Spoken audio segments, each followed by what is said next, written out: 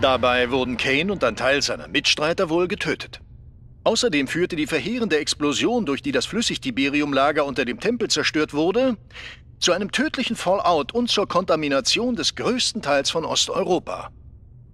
Noch ist nicht geklärt, ob es sich um einen Unfall handelt oder um einen letzten verzweifelten terroristischen Angriff Kanes.